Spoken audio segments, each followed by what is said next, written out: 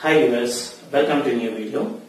In this video, let us see how to program 8086 microprocessor to insert a character at the end of the string. Say here, I have a particular string Anu7 with me. Uh, sorry, I have a string Anu with me. So I want to insert a new character at the end of this string. Say I want output, desired output what I am expecting is I want output to be HANU7. So this 7 I want to insert at the end of the string. So for that uh, what is the logic I am implementing in this program is first define this HANU in the data segment and in the same data segment you also define a character char like this char db in single quote 7. So this is the desired character which I want to insert. So after that, in the main program, what you have to do is, you have to compare uh, this input string HANU7 with one special character dollar. I will take in the input string HANU and dollar also.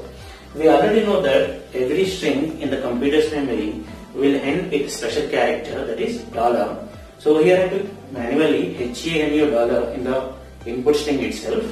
Then in the main program that is in the code segment what I am doing is I am comparing by using the instruction CMP I am comparing this uh, dollar special character dollar with each and every character in the input string. So for that what I will do is I will take SI and I will make SI as a pointer to the input string. SI will be pointing to the input string right. So by using instruction LEA SI comma what is whatever the string name. Say for example if the string name is A then I will write LEA SI comma A. Then this SI will be acting like a pointer to the input string. After that I will copy that the first character which is uh, pointed out by SI into the AL like this move AL comma content of SI so the first character which is being pointed by SI I will be copied into AL that means H is there in AL then I am comparing AL with dollar. I am comparing AL with dollar. So if the uh, compare if the comparison is successful if the character is matching with dollar I will simply insert the new character. If it is not matching I will increment it.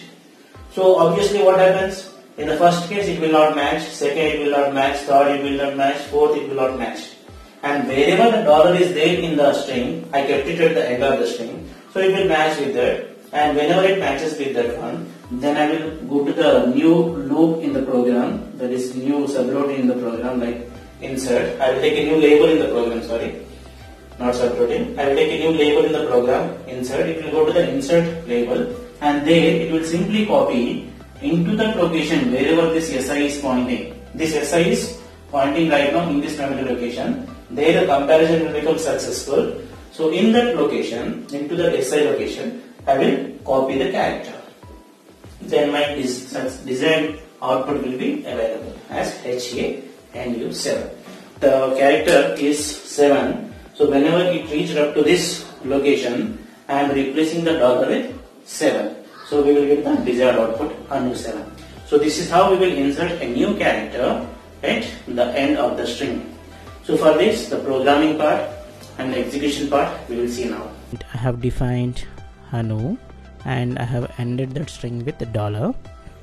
Then I have created five duplicate values with this command adb 5 dup of 0 because uh, the next character which I want to save it should not come exactly uh, in front of the the desired character which we have defined. So while while looking at the output you may get confused you may get uh, Hanu 7 7 like that so that's the reason why. While defining the input I define my input string first with a special character dollar. And then I, I created five duplicate values. That means five dots you can see if you open the computer's memory. After that I have stored my input uh, another characters that is 7 in the code segment you can see here the first two statements are data segment initialization. Then I used uh, this instead of LE I used offset here move si comma offset str this will uh, do what? It will load the effective address of this str string. Str is nothing but anu dollar.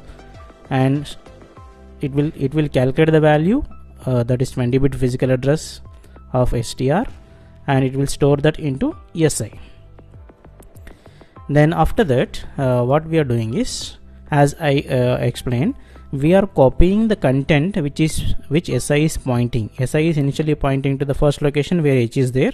So we are copying the content of si to al and i'm comparing that h with dollar. Content of si is nothing but h which is there in al right now. And then i am comparing cmp al comma dollar. So after that what i'm doing is i am writing a code jump if equal.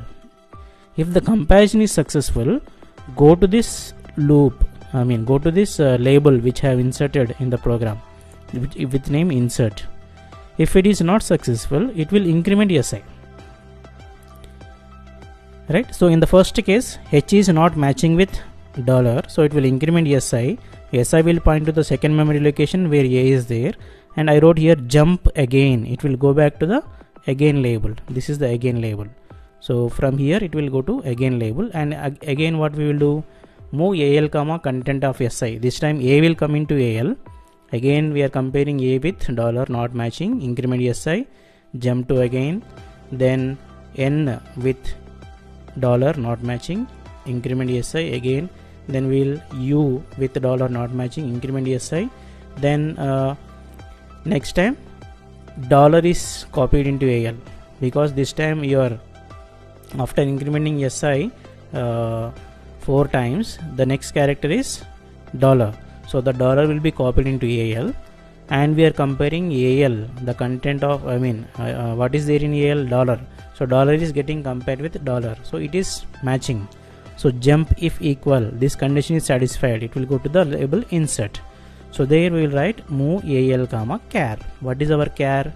Char is 7 so 7 will be copied into the accumulator register first and from there it will be copied into the content of si wherever si is pointing there it will it will store the content of al al is having 7 so that 7 will be copied into that memory location. So like that uh, we can uh, what uh, insert a new character at the end of the string. So let us see its a simulation i mean uh, execution part masm 3 dot the file name is 3 here so i am compiling uh, assembling the program. Masm 3.asm so i got 0 errors 0 warnings. Then the next step is link link 3.obj then debug. Debug 3.exe now uh, you see I will uh, go with t enter and I will open you the memory and show you what are our inputs. You can see our input HANU dollar is stored. We have defined first our input HANU dollar the string str then I give 5 duplicate values you can see the dots here. After that I give character 7 right? So if I execute the program up to the end by giving the command g enter and if you open the memory again d space 0 now you can see here the dollar is replaced by 7 so we got a new character inserted at the end. So and there is no confusion. Your input input data 7 which was there here is very far away from the string. So that's why uh, we give 5 duplicate values to store that character at a separate memory location. And we got the output here. This is the output anu 7 so like this we will work with the program how to insert a new character at the end of the string.